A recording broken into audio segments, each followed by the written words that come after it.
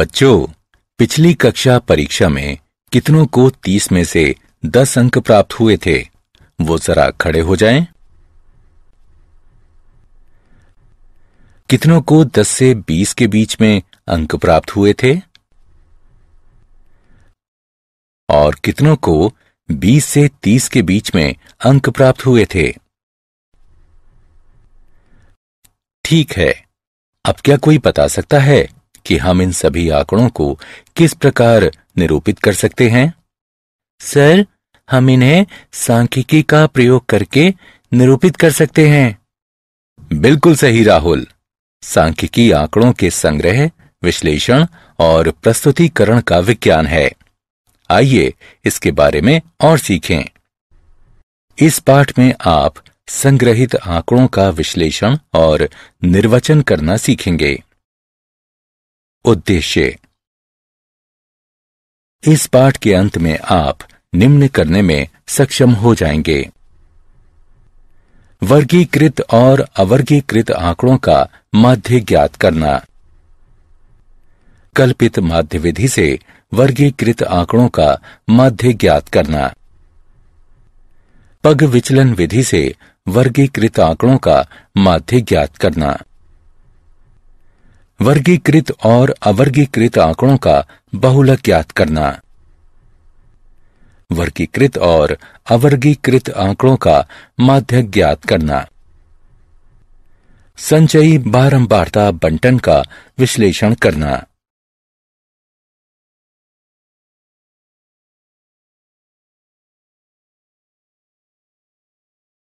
वर्गीकृत आंकड़ों का माध्य।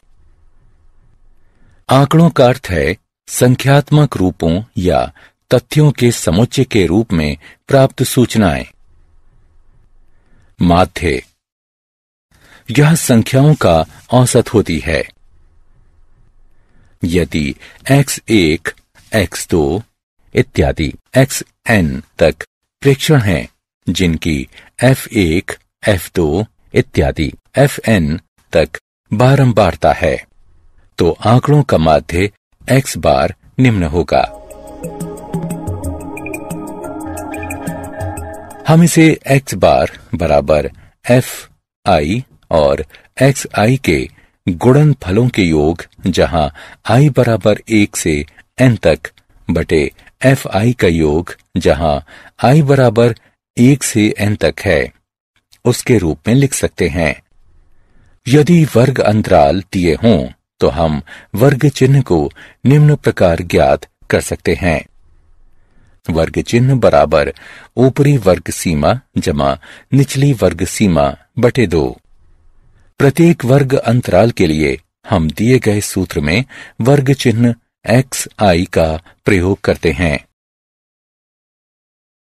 उदाहरण, प्रथम दस प्राकृतिक संख्याओं का माध्य ज्ञात कीजिए। हल। दिए गए आंकड़े एक, दो, तीन, चार, पाँच छ सात, आठ, नौ, दस हैं। प्रेक्षणों का योग पचपन के बराबर होगा। कुल प्रेक्षण हैं दस। माध्य बराबर होगा। कुल प्रेक्षणों का योग यानी ये पाँच दशमलव पाँच होगा।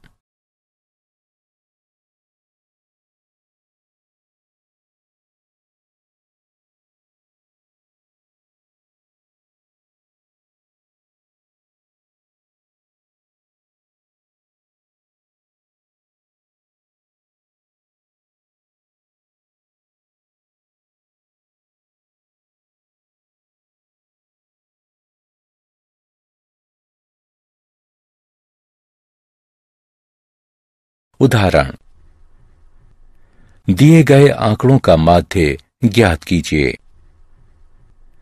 हल, सबसे पहले हम सूत्र के प्रयोग से प्रत्येक वर्ग अंतराल के लिए वर्ग चिन्ह ज्ञात करेंगे। वर्ग चिन्ह बराबर ऊपरी वर्ग सीमा जमा निचली वर्ग सीमा बटे दो। पहले स्तंभ में हमने वर्ग अंतराल लिखा है और दूसरे स्तंभ में हमने संगत वर्ग अंतराल की बारंबारता लिखी है। बारंबारताओं का योग 31 है। फिर हम प्रत्येक वर्ग अंतराल के लिए वर्ग चिन्ह लिखते हैं और उन्हें एक्स आई से व्यक्त करते हैं तथा इसके बाद एफ़ आई और एक्स आई का गुणनफल ज्ञात करते हैं। अंततः हम सूत्र का प्रयोग करके माध्य ज्ञात करते हैं। एक्स बार बराबर एफ़ आई और एक्स आई के गुणनफल का योग बटा एफ़ आई का योग, जो बराबर होगा एक हज़ार पिचानवे बटे इकतीस के, जो हल करने पर पैंतीस प्राप्त होगा। माध्य ज्ञात करने की इस विधि को प्रत्यक्ष विधि कहा जाता है। वर्गीकृत आंकड़ों का माध्य। कल्पित माध्य विधि। कई बार और का गुणनफल इतना बड़ा हो जाता है कि परंपरागत विधि बहुत समय लेने वाली हो जाती है। लंबी गणनाओं से मुक्ति पाने के लिए हम कल्पित माध्य विधि का चयन करते हैं। कल्पित माध्य विधि से माध्य निकालने का सूत्र है कल्पित माध्य जमा एफ़ आई और एक्स आई के गुणनफल का योग बटा एफ़ आई का योग। जहाँ ए कल्पित माध्य है, हम एक्स आई के मान से माध्य की कल्पना करते हैं। डी आई बराबर एक्स आई घटा ए वर्गीकृत आंकड़ों का माध्य पग विचलन विधि। गणनाओं से बचने के लिए हम एक अन्य विधि का प्रयोग करते हैं, जिसे पग विचलन विधि कहते हैं। पग विचलन विधि से माध्य ज्ञात करने का सूत्र है। कल्पित माध्य, जमा एच गुणन एफ़ आई और यू आई के गुणन फल का योग बटा एफ़ आई का योग। जहाँ ए कल्पित माध्य है। हम एक्स आई के मान से माध्य की कल्पना करते हैं। एच वर्ग माप है। यू आई बराबर एक्स आई घटा ए बटा एच उदाहरण, कल्पित माध्य विधि और पग विचलन विधि से दिए गए आंकड़ों का माध्य ज्ञात कीजिए। हल। सबसे पहले हम निम्न सूत्र के प्रयोग से प्रत्येक वर्ग अंतराल के लिए वर्ग चिन्ह ज्ञात करेंगे। वर्ग चिन्ह बराबर ऊपरी वर्ग सीमा जमा निचली वर्ग सीमा बटा दो। मान लीजिए कल्पित माध्य ए बराबर 25 एच बराबर 10 पहले स्तंभ में हमने वर्ग अंतराल लिखा है और दूसरे स्तंभ में हमने संगत वर्ग अंतराल की बारंबारता लिखी है। बारंबारताओं का योग इकतालीस है। फिर हमने प्रत्येक वर्ग अंतराल के लिए वर्ग चिन्ह लिखा और उसे एक्स आई से व्यक्त किया। चौथे स्तंभ में हमने कल्पित माध्य से विचलन डी प्राप्त किया। पाँचवें स्तंभ में हमने कल्पित माध्य बटा वर्ग माप से विचलन यू ज्ञात किया। छठवें स्तंभ में हम एफ़ और डी का गुणनफल ज्ञात करते हैं। उनका योग घटा चालीस है। सातवें स्तंभ में हम एफ़ और यू का गुणनफल ज्ञात करते हैं और उनका योग घटा चार है। इसके बाद हम कल्पित माध्य विधि के निम्न सूत्र से कल्पित माध्य ज्ञात करते हैं।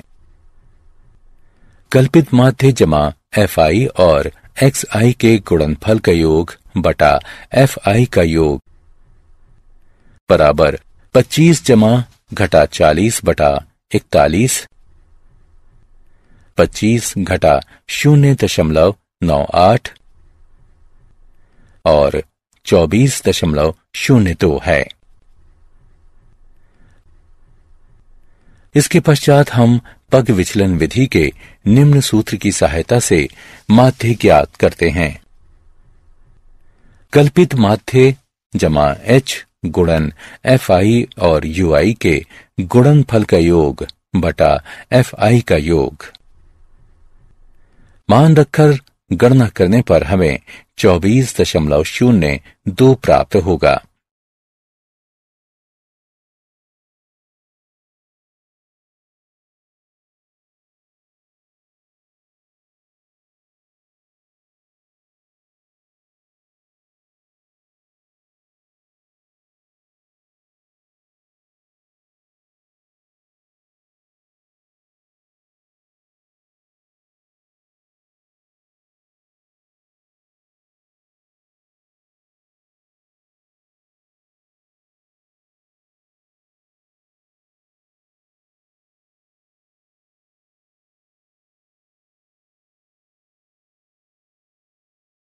वर्गीकृत आंकड़ों का बहुलक।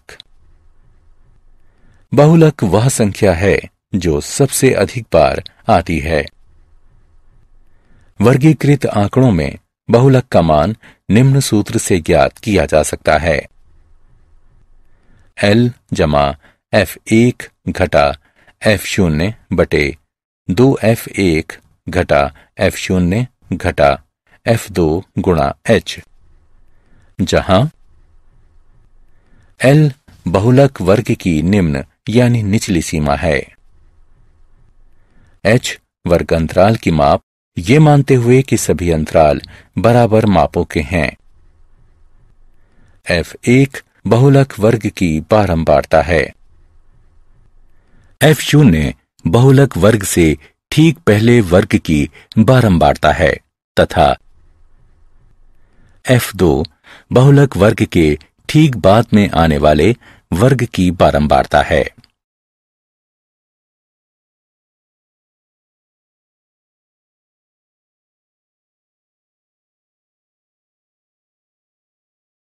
उदाहरण, दिए गए आंकड़ों का बहुलक ज्ञात कीजिए। हल, यहाँ वर्ग अंतराल में अधिकतम संख्या नौ है। और इस बारंबारता का संगत वर्ग 30 से 40 है। अतः बहुलक वर्ग 30 से 40 का वर्ग है।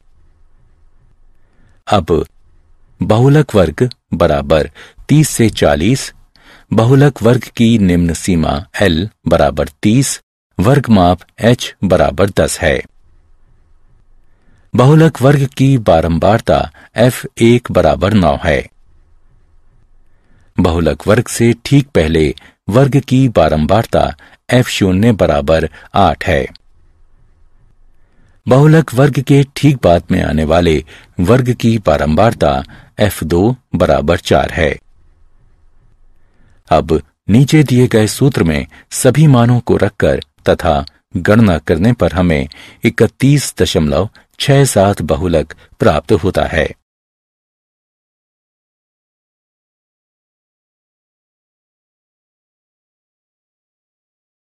संचयी बारंबारता संचयी बारंबारता दो प्रकार की होती है।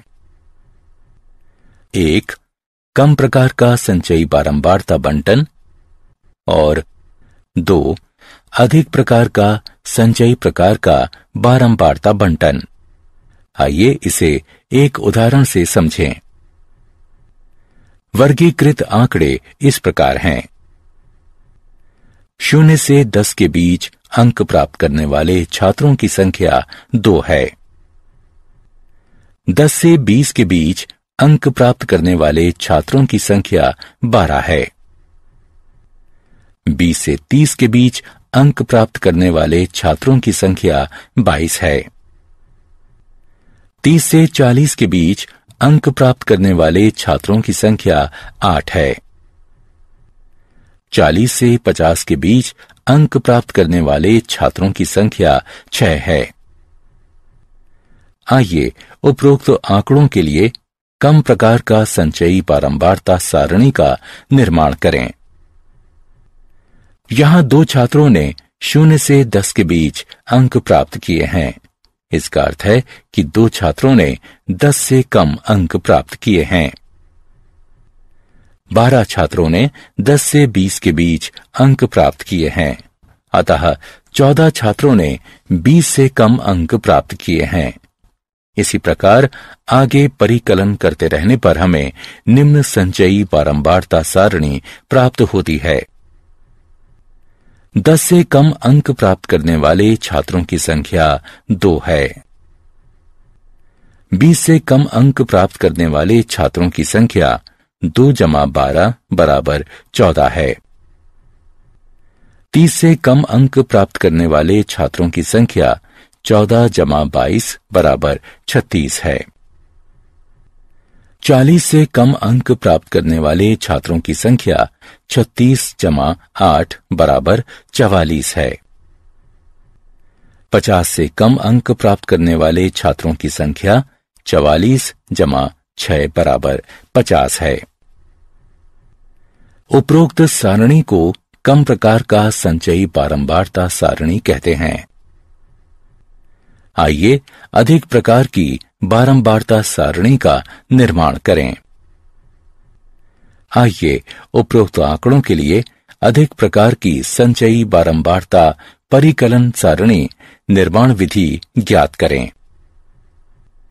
इसमें शून्य या उससे अधिक अंक प्राप्त छात्रों की संख्या। इसका अर्थ है कि 50 छात्रों को शून्य या उससे अधिक अंक प्राप्त हुए हैं, क्योंकि दो छात्रों को 10 से कम अंक प्राप्त हुए हैं। इसलिए 48 छात्रों को 10 या उससे अधिक अंक प्राप्त हुए हैं। इसी प्रकार आगे बढ़ते रहने पर 48 घटा 12 बराबर 36 छात्रों ने 20 या उससे अधिक अंक प्राप्त किए हैं। इस प्रकार हम अधिक प्रकार बारंबारता बंटन सारणी प्राप्त करते हैं। शून्य से अधिक अंक प्राप्त करने वाले छात्रों की संख्या 50 है। 10 से अधिक अंक प्राप्त करने वाले छात्रों की संख्या 50 घटा दो बराबर 48 है। 20 से अधिक अंक प्राप्त करने वाले छात्रों की संख्या 48 घटा 12 बराबर 36 है। तीस से अधिक अंक प्राप्त करने वाले छात्रों की संख्या छत्तीस घटा बाईस बराबर चौदह है। चालीस से अधिक अंक प्राप्त करने वाले छात्रों की संख्या चौदह घटा आठ बराबर छह है। उपरोक्त सारणी को अधिक प्रकार का बारंबारता सारणी कहते हैं।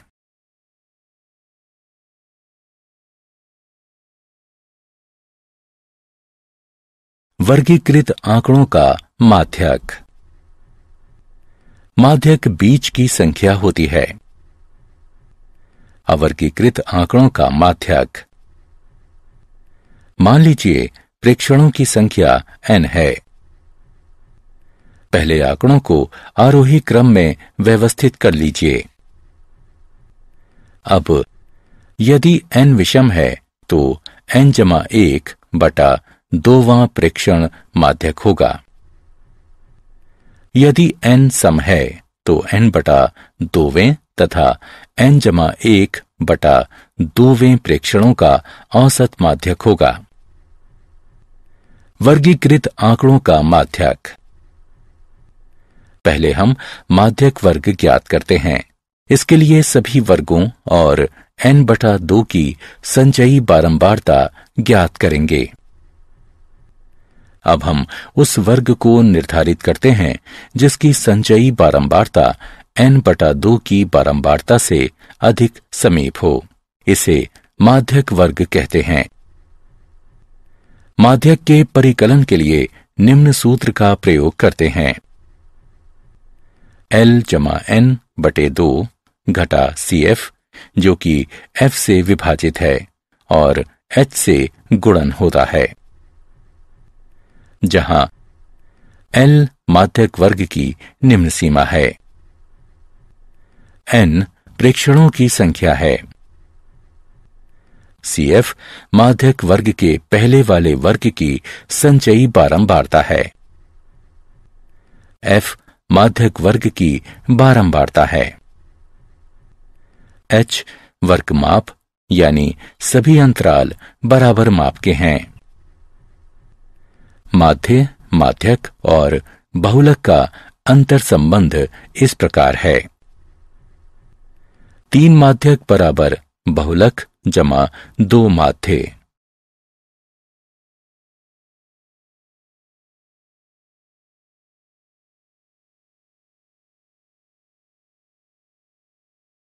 उदाहरण। मान पाँच, दस, सात, सोलह, बारह, बीस का माध्य ज्ञात कीजिए। हल। आंकड़ों को आरोही क्रम पाँच, सात, दस, बारह, सोलह, बीस में व्यवस्थित करें।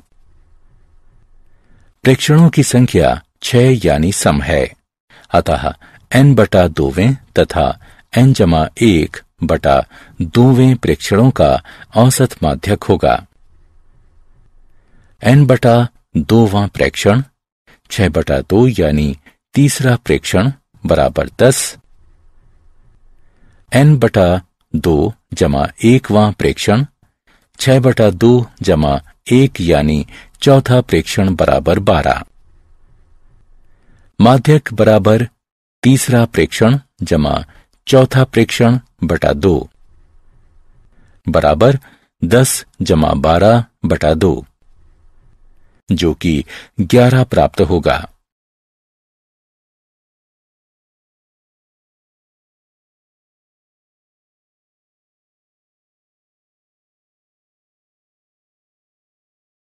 उदाहरण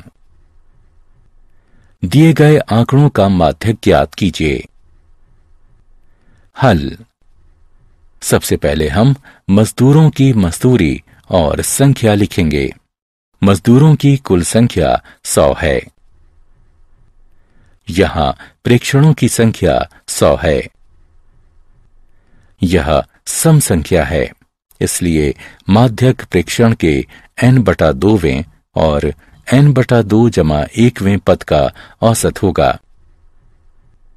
यह सौ बटा दो और सौ बटा दो जमा एक का औसत है। यह पचासवें और इक्यावनवें प्रेक्षण का औसत है। इन प्रेक्षणों को प्राप्त करने के लिए आंकड़ों को निम्न प्रकार व्यवस्थित करें। इसमें हमने उन मजदूरों की कुल संख्या लिखी है, जो अड़तीस सौ, इकतालीस सौ, चवालीस सौ, उनचास सौ, बावन सौ, पचपन सौ और छह हज़ार तक वेतन प्राप्त करते हैं।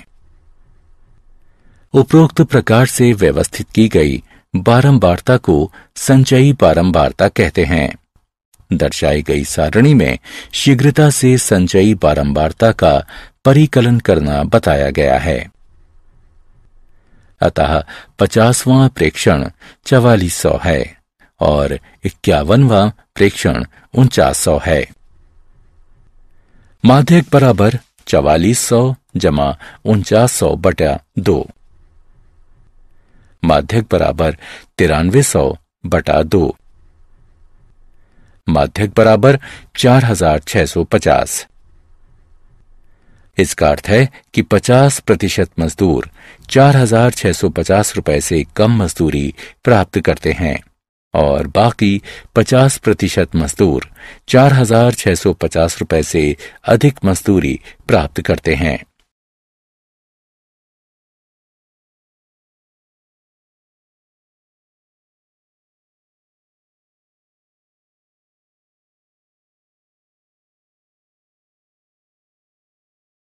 उदाहरण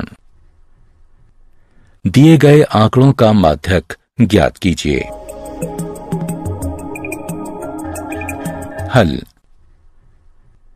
प्रथम स्तंभ में दी गई मजदूरी लिखिए। दूसरे स्तंभ में हम दी गई बारंबारता लिखेंगे। बारंबारता का योग इकतीस है। तीसरे स्तंभ में हम प्रत्येक मजदूरी के लिए वर्तमान बारंबारता में उसके पहले की बारंबारता का योग कर संचयी बारंबारता ज्ञात करते हैं। इसके बाद हम माध्यक ज्ञात करते हैं। माध्यक बराबर इकतीस जमा एक बटा दोवा यानी सोलवा प्रेक्षण, बराबर इक्यानवे रुपए यहाँ बारहवें से तेईसवें तक सभी प्रेक्षण रुपए इक्यानवे हैं। अतः प्रेक्षण सोलह इक्यानवे रुपए है।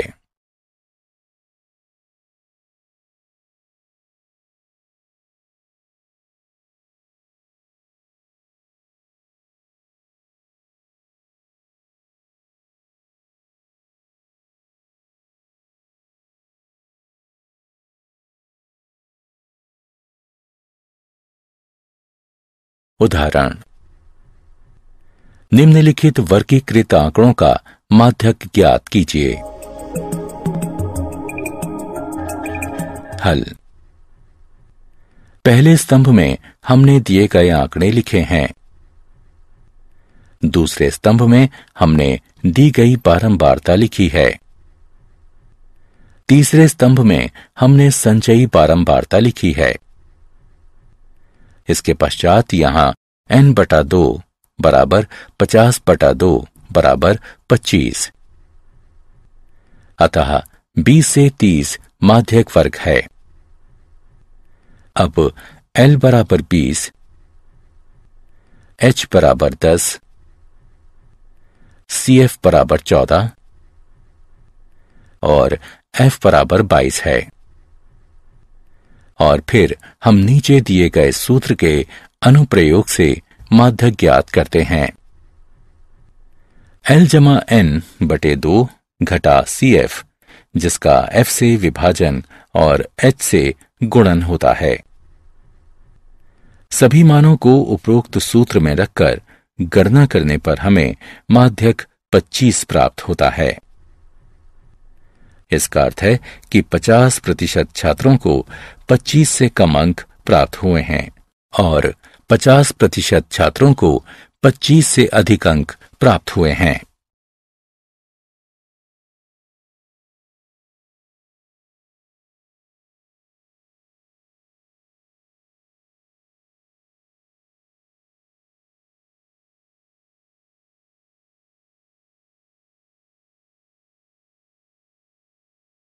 संचयी बारंबारता बंटन का आलेखीय निरूपण। इसमें हम क्षैतिज अक्ष पर वर्ग अंतराल की ऊपरी सीमाएँ अंकित करते हैं और ऊर्ध्वाधर अक्ष पर उसकी संगत संचयी बारंबारताएँ अंकित करते हैं। प्राप्त वक्र कम प्रकार की एक संचयी बारंबारता वक्र या तोरण कहलाती है। यदि हम एक्स अक्ष पर वर्ग अंतराल की निचली सीमाएँ अंकित करते हैं और ऊर्ध्वाधर अक्ष पर उसकी संगत संचयी बारंबारताएँ अंकित करते हैं। तो प्राप्त वक्र अधिक प्रकार की एक संचयी बारंबारता वक्र या तोरण कहलाती है। टिप्पणी। हम समान अक्ष पर दोनों आलेखों और उनके प्रतिच्छेद बिंदु द्वारा माध्य ज्ञात कर सकते हैं। हम प्रतिच्छेद बिंदु से एक्स अक्ष पर लंब डालते हैं। और एक्स अक्ष के जिस बिंदु पर यह लंब गिरता है, वही बिंदु माध्यक होता है। उदाहरण, दिए गए आंकड़ों का माध्यक ज्ञात कीजिए। ज्ञात कीजिए कि कितने छात्रों ने पहेली को 12 सेकंड से कम समय में और 18 सेकंड से अधिक समय में हल कर दिया। और कितने समय तक 28 छात्रों ने पहली को हल कर लिया था? हल, x बराबर 12 के लिए संचयी बारंबारता वक्र को प्रतिच्छेदित करती एक ऊर्ध्वाधर रेखा खींचिए। अब संचयी बारंबारता अक्ष पर मिलने वाली एक रेखा खींचिए। प्राप्त मान पंद्रह है। पंद्रह छात्रों ने पहली को बारह सेकंड से कम समय में हल कर लिया।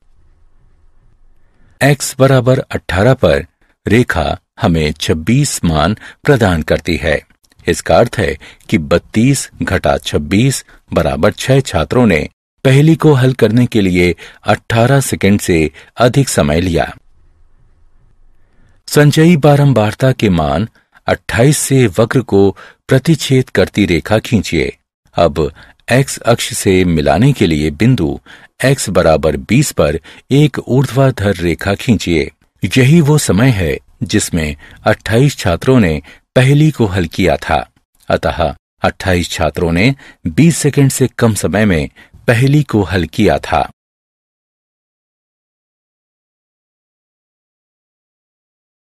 क्या आप जानते हैं? समानता सांख्यिकी को गणित की एक शाखा मानने के बजाय एक भिन्न गणितीय विज्ञान माना जाता है। सांख्यिकी से संबंधित आरंभिक लेखन नौवीं शताब्दी की पुस्तक manuscript on deciphering cryptographic messages में पाया जाता है।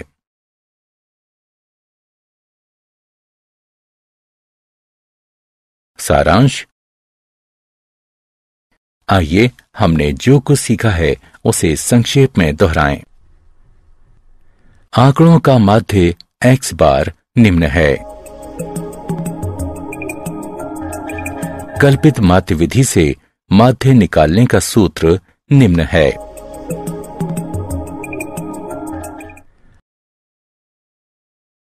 पग विचलन विधि से माध्य ज्ञात करने का सूत्र निम्न है।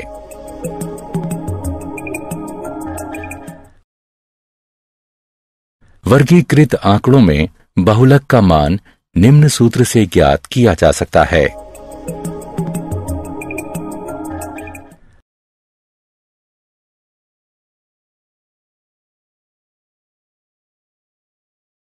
वर्गीकृत आंकड़ों का माध्यक निम्न प्रकार है।